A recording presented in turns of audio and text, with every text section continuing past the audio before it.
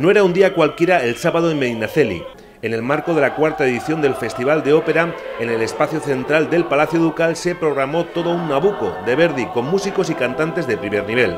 Pero esta vez vamos a, usar el doble, do, la doble arcada con el fin de que todo el espacio nos envuelva, la música lo invada todo, las voces de los coros que, que Nabucco está caracterizado por, por el gran coro y la fuerza de ese coro, coro de los esclavos, y van a cantar abajo y arriba del primer piso, y incluso Nabucco hace, tiene, un, tiene una, una interpretación en el primer piso, con lo cual usamos todo el espacio escénico. Se ha muy bien porque, aunque parezca mentira, la anchura de este, de este espacio es más grande que muchos de los teatros que hay por ahí. ¿eh?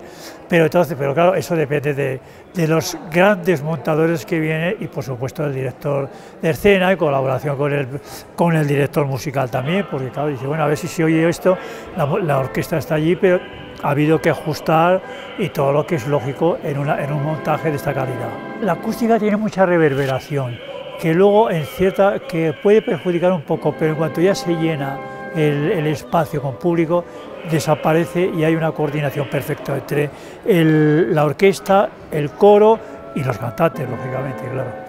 Fue una oportunidad única para ver artistas que normalmente solo pueden disfrutarse en grandes espacios de las principales ciudades. Esta ópera está en teatros pequeños y así en 35.000 euros. A nosotros nos lo han hecho un poquito más barato pero es totalmente insuficiente el aforo. Tenemos ocho filas. Ocho filas dan unos ingresos de 7-8 mil euros. No, no es rentable. Nos vamos a quedar a dos velas, que se dice, pero una vez lanzado no te podías volver atrás. Ese montaje no se va a ver en ningún otro sitio, porque está concebido especialmente para el Palacio Ducal.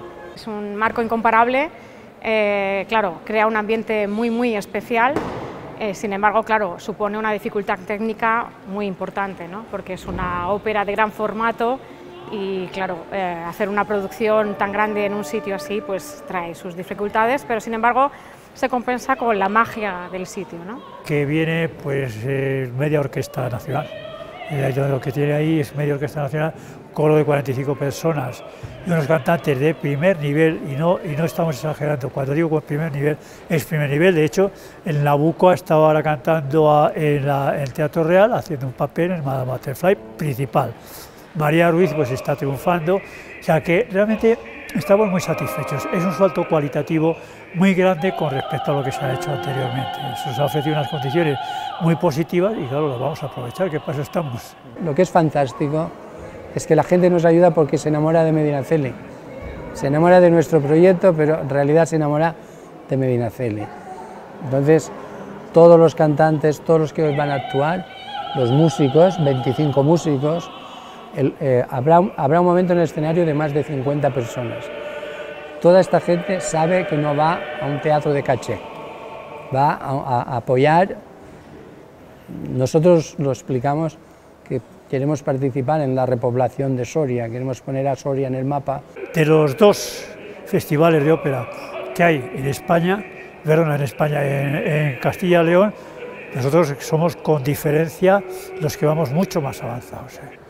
Entonces, bueno, pues está claro que el Medinaceli tiene mucha fuerza, porque si fuera un pueblo por ahí perdido de la mano de Dios, que no tiene ningún atractivo, pues es evidente que no vendría tanta gente músicos de primer nivel y cantantes que triunfan en circuitos internacionales. Luis Cansino, que hace el papel de Nabucco, estos días pasados cantaba en el Teatro Real de Madrid. María, Ruiz ha cantado en el Teatro Real hace poco también. Son artistas ya internacionales. Y el escenógrafo, el director de escena y el que ha concebido el espectáculo, Ignacio García, yo le ponía cuarenta y pico años y me han dicho que tiene 35, 36 y es ya uno de los más importantes escenógrafos de España. Y trabaja muchísimo en el extranjero. Los propios artistas reconocen que es un evento diferente por sus especiales características. Es un esfuerzo importante por la gente que lo ha traído aquí, evidentemente, lo que hablábamos de las dificultades técnicas, de la producción y de todo, del gran esfuerzo de Telón Producciones por traerlo aquí, de los responsables Miguel Tugores y, Francisco Mejorada, los directores de este festival, pues hacer esta, encajar una cosa tan, tan grande en este lugar. Eh, creo que se debe al esfuerzo y al cariño de personas que ponen mucho para acercar la ópera, que tú decías, este sentimiento elitista, ¿no? pues que la gente esté más cerca y que pueda acercarse. ¿no? Gente, supongo que a Medina Celi les cuesta ir hasta Madrid, ¿no? hay que tomar la decisión de coger un coche, irte hasta Madrid para ver una ópera, ¿no? o a Soria, ¿no? Eh, pero traerlo aquí y hacer que la gente pues, esté mucho más cerca creo que es algo muy bonito que deberían las autoridades y todo el mundo de la política apoyar iniciativas como esta. La soprano segoviana María Ruiz fue una de las protagonistas de la noche. Interpretar a Abigail es un regalo y a la vez un reto.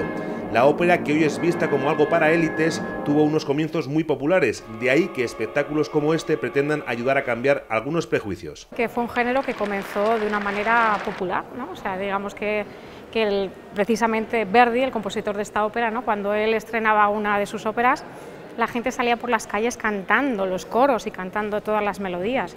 Imagínate, más, más nivel de popularidad no podría existir.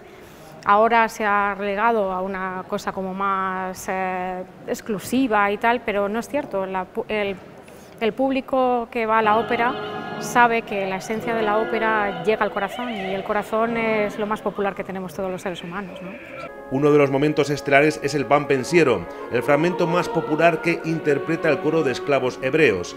En su día fue todo un reclamo político en pleno movimiento a favor de la unidad de Italia en el siglo XIX. Sabes que el pensiero estuvo a punto de ser himno en Italia y de hecho bueno, se barajó la posibilidad y claro, es algo que, es uno de los coros más famosos de toda la historia de la ópera. ¿no? Entonces el público está esperando ese momento.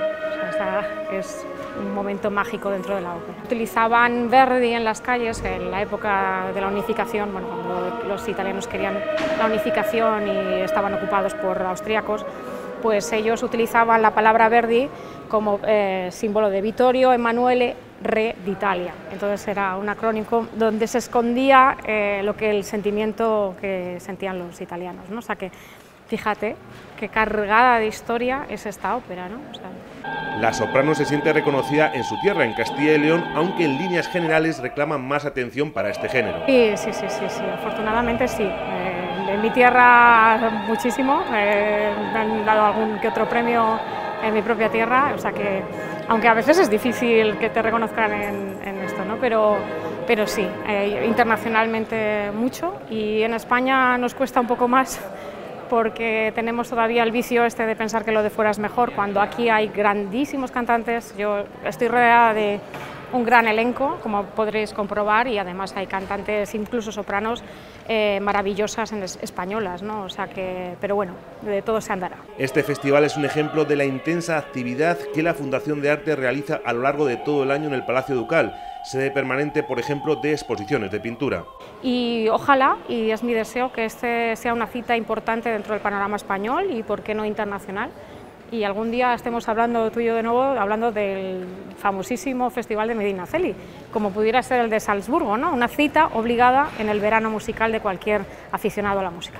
Yo creo que hay para mucho, para mucho, de hecho hay un espectáculo se llama Los Conciertos de Palacio durante todo el invierno, en que vienen artistas pues, de jazz, flamenco, pianistas, concertistas en general y da para mucho porque es grande. Este, este palacio es muy grande y da para, tiene salas para hacer muchas cosas. Hay un piano dentro también que en invierno pues está funcionando. De hecho, dentro de poco viene, me parece que es en octubre, un grupo de jazz y un grupo flamenco, o sea que sí da, para mucho. Aparte de las exposiciones que presenta Miguel, que es una maravilla, porque entrar ahí es un lujo de artistas muy reconocidos del mundo de la pintura moderna, entonces eso es muy, muy positivo. Esta vez fue Nabucco, en otras ediciones Madame Butterfly. Poco a poco la música va ganando espacio en el Palacio Ducal, un arte más que se une al ambicioso proyecto que Miguel Tugores y la Fundación de Arte están llevando a cabo en los últimos años. Lo mejor todavía puede estar por llegar.